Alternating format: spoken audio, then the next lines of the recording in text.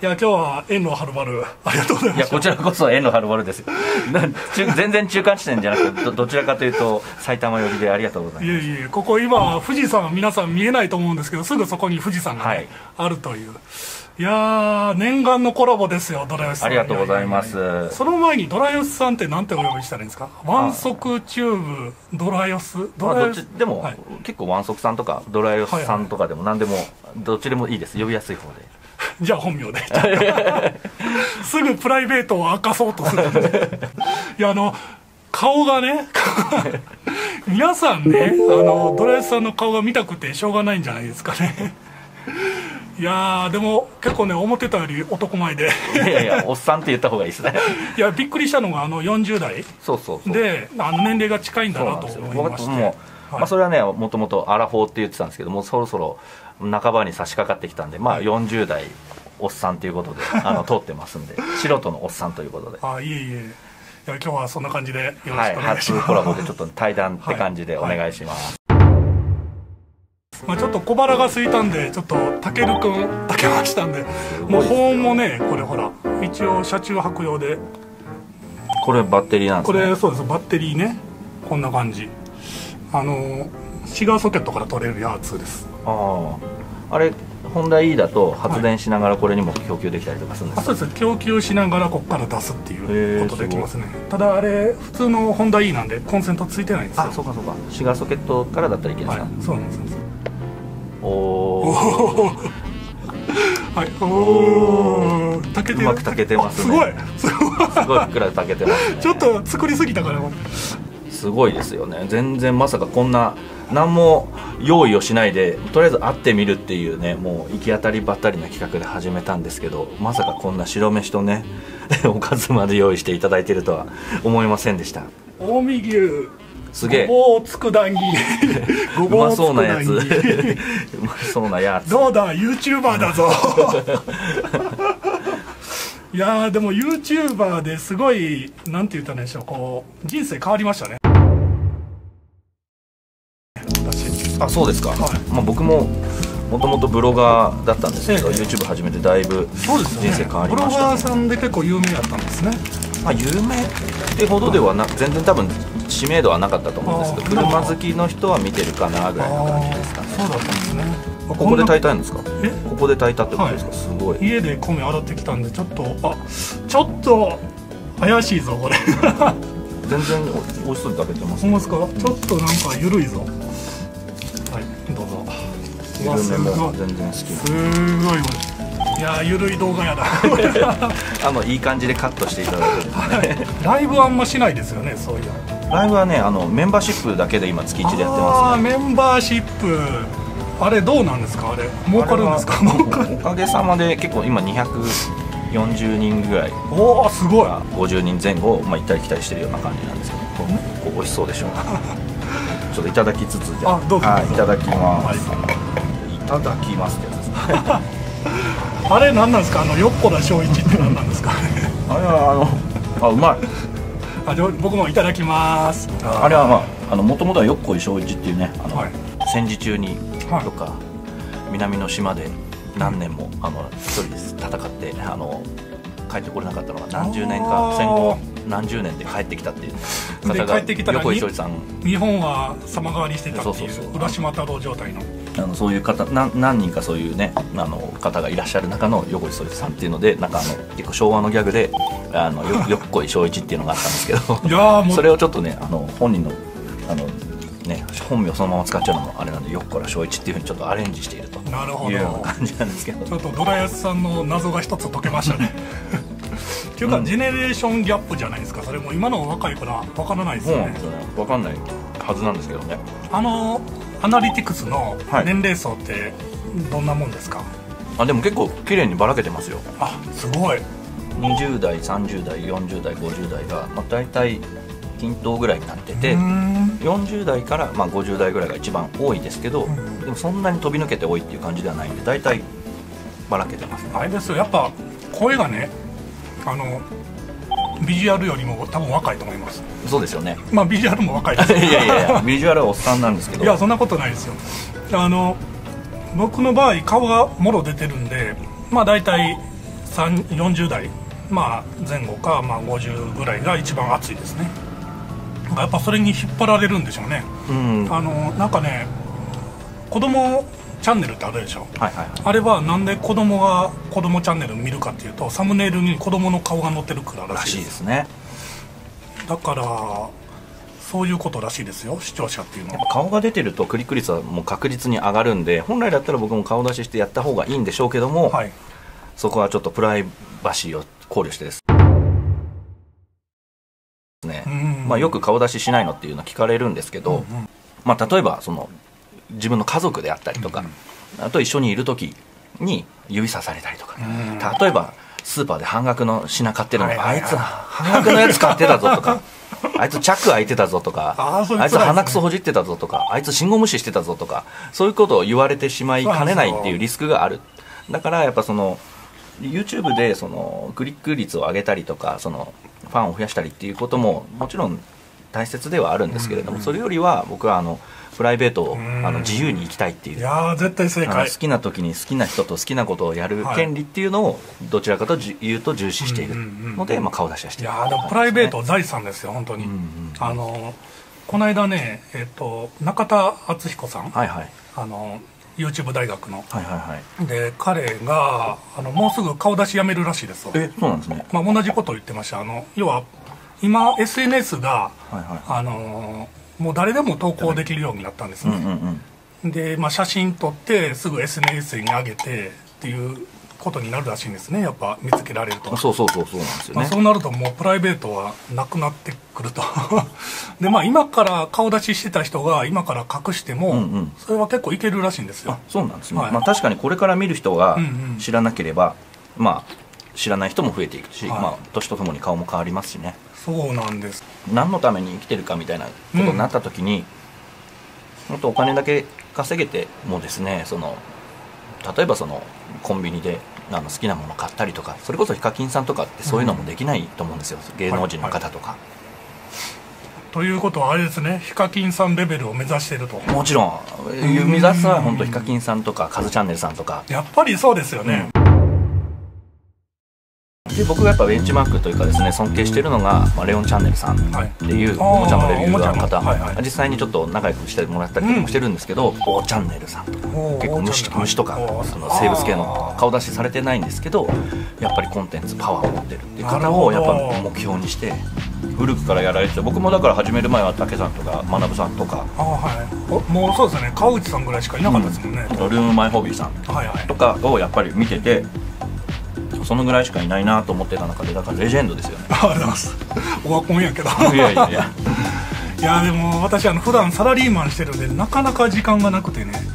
でやっぱタイミング的にやめてもう YouTube 一本でやろうとも思ったんですけど、まあちょっといろいろ家族の あれがありまして、まあ、辞めることできなかったんですけどあのドラヤさんって、えっと、過去サラリーマンそうですね。だったんですね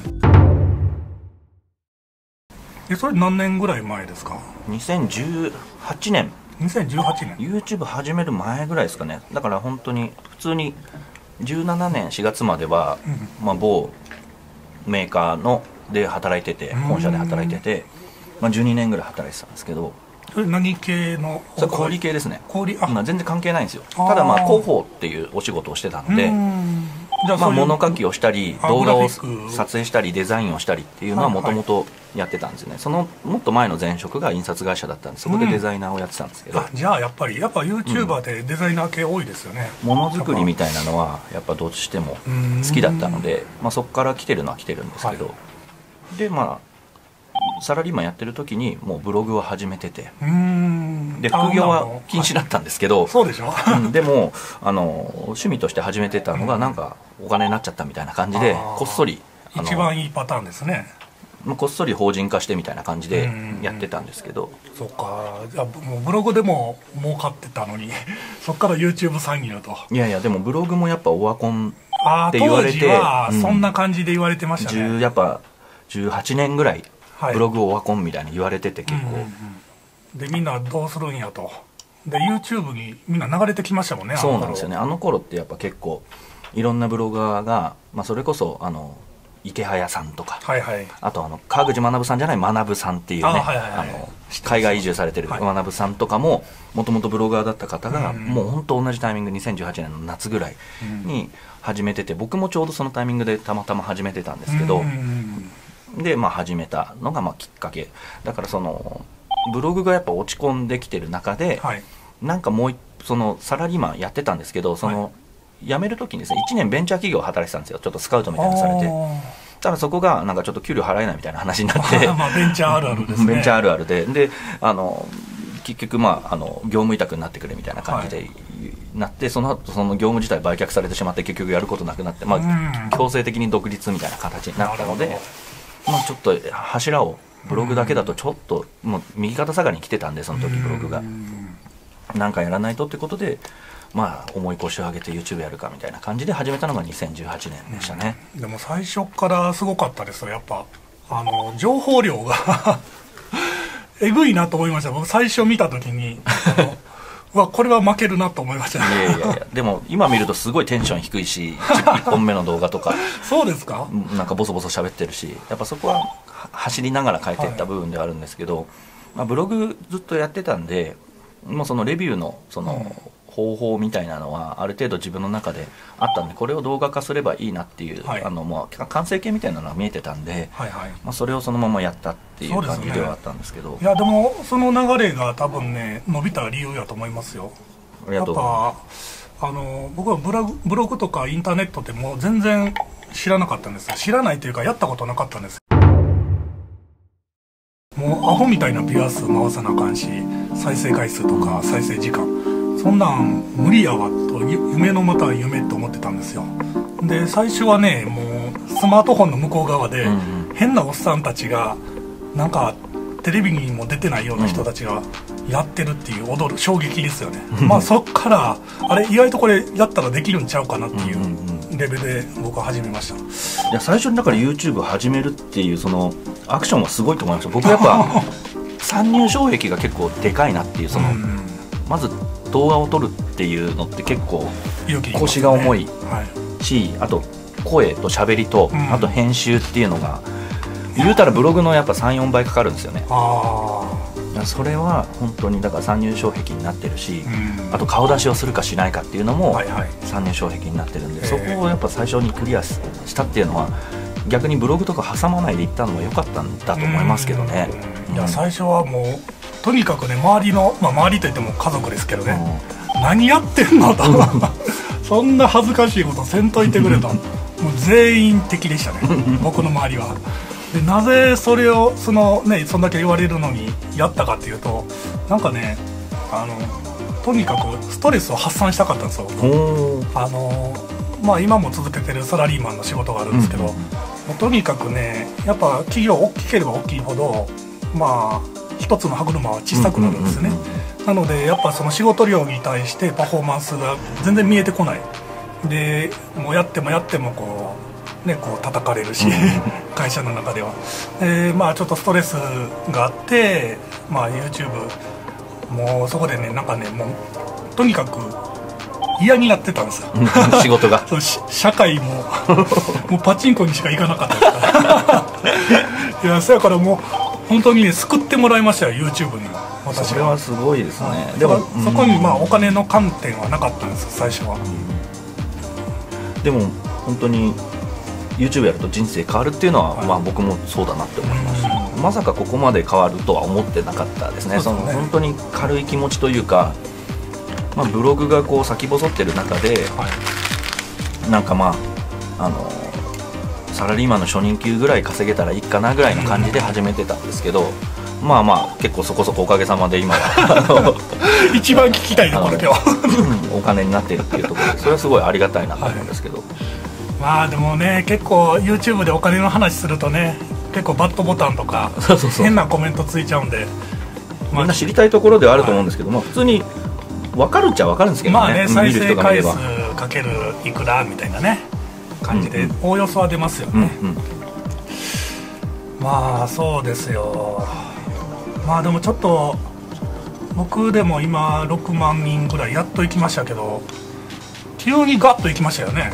いや。15万人ぐらいですよね。急にじゃないんですよ。ずっとじりじり右肩上がりあじゃあ月平均5 6千。5 6千。あで増えてってあえ今も5 6千ですか？そうですね。今も7000ぐらいでしたけどあ先月はちょっとあのベゼルが割とバズったんで、はいはい。バッと7000人ぐらい増えたんですけど、それまでは本当5 6千人をこう行ったり来たりしてるような感じで増えてってるっていう。だから急にぐわって伸びた時期が僕そんなないんですよね。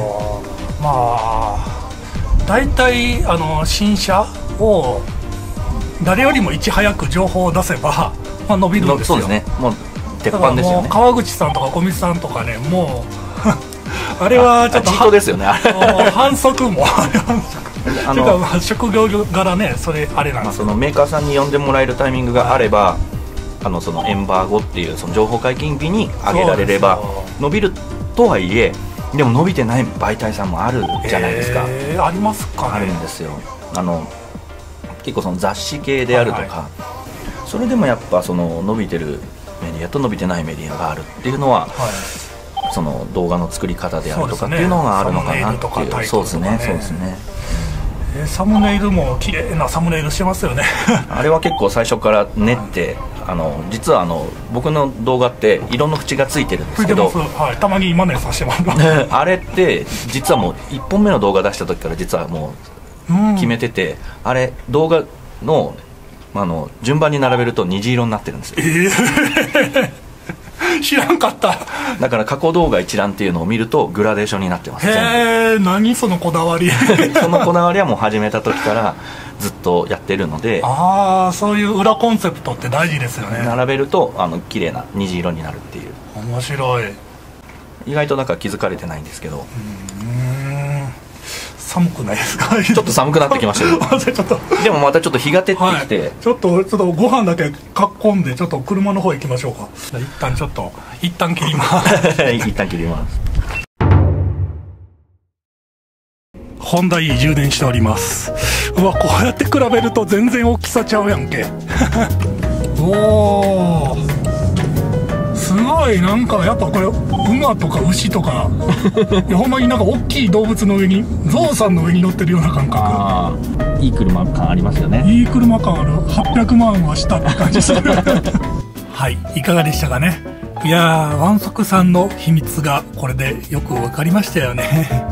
もしねあのよろしければあのワンソクさんのチャンネルと、えー、竹 TV のチャンネルも登録していただいたらありがたき幸せでございます次回はねワンソクさんが乗ってきたディフェンダーを試乗してみようと思います。はいというわけで今日はワンソクさんの秘密を暴いてみたでした。じゃあねバイ。